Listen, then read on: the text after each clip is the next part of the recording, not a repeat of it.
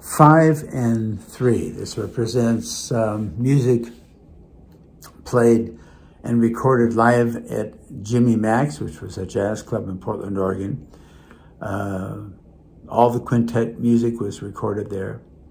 Um, the trio music on this package, because it's a double CD, is uh, was recorded at the studio here in uh, Portland, Oregon. Uh, the quintet is live. The trio is recorded in the studio.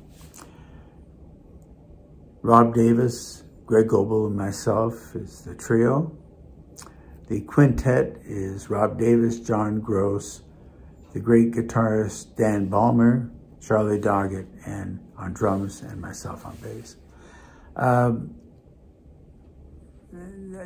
I wrote all the harmony parts uh, for this project.